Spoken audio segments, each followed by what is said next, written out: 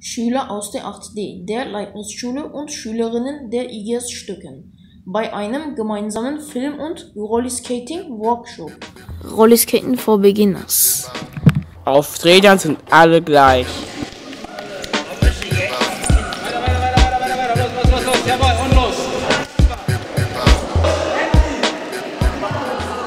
David und Lisa haben uns gezeigt, wie Rollerskaten geht.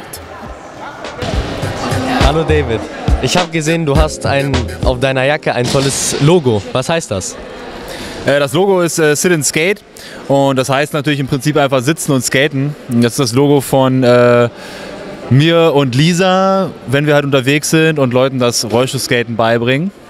Oder eben auch einfach zeigen, dass ein Rollstuhl eben ein cooles Gerät sein kann, das Spaß machen kann und Spaß machen darf. Wie findest du es hier? Ich finde es schön, ähm, Rollstuhl zu fahren.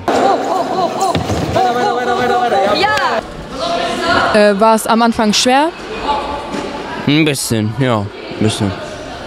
Fahr drauf und jetzt nach vorne lehnen und umdrehen. Nach vorne lehnen, ja, und umdrehen. Jawohl. Wie bist du konkret zum Skaten gekommen mit dem Rollstuhl? Ja, das war so, dass ich halt in der, äh, in der Reha nach dem Unfall ähm, habe ich erstmal im Fernsehen Paralympics gesehen.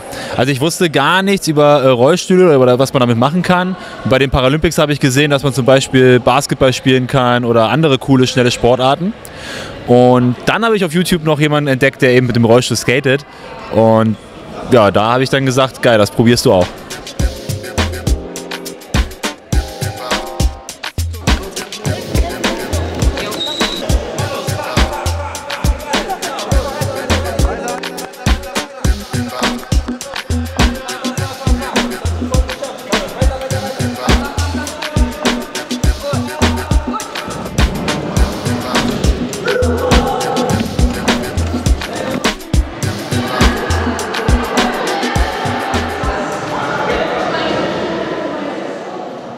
Ich fand's toll, dass ihr Freunde gefunden habt.